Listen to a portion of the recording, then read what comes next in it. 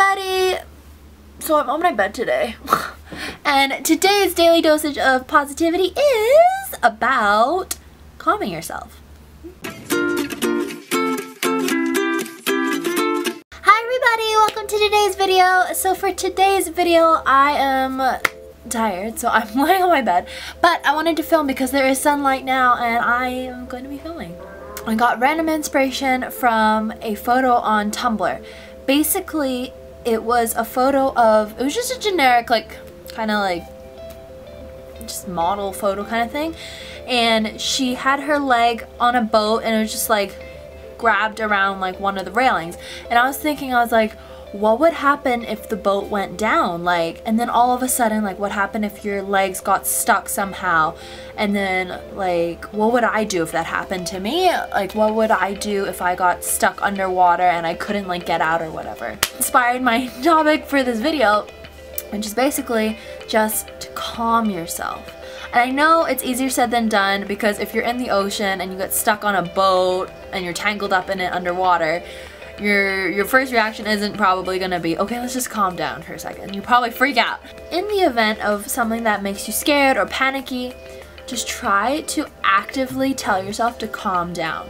Like just really get into your brain and be like, okay, let's just take a second before I lose any more breath or before I just, you know, use up all my oxygen or whatever let me just calm down for a second. Who knows, maybe I'll never be caught up in that situation where I'll be stuck on a railing of a boat underwater and tangled up in it. Maybe I'll never be stuck in that. But it is applicable in other real life situations where I can tell myself actively to just hold on a second, just just wait a second and just calm down and just think about this and don't freak out. It's gonna be fine. It's gonna be fine. I've done it before where I actively do that and it really, really helps to just kind of stop and put everything into perspective. But using that as an example, it just really reiterates it, I guess. And so if you guys are ever stressed with like school or friends or drama or whatever, or parents or university, just, you know, tell yourself to stop for a second and just breathe and look at things. Because everything has a way, and as I said, life always has a way. So everything will always work itself out. And even if it seems like, oh god, this is the worst thing that life could have done to me, it's gonna be fine because there's always gonna be a way. But yeah, anyway, um, I just thought that I would give you that kind of little bit of advice because it inspired me.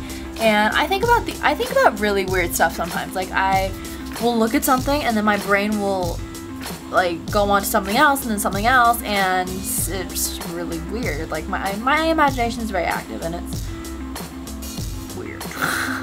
Weird but awesome. Everybody has a weird but amazing and unique imagination and brain.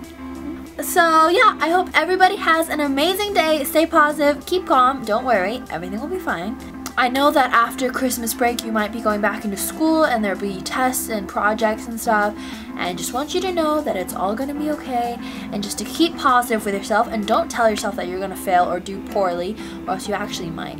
So just stay positive, tell yourself I did my best, I studied really hard, I'm going to try my best and I'm going to I'm going to succeed. I'm going to do amazing. And it's going to be fine. Everything's going to be okay, guys.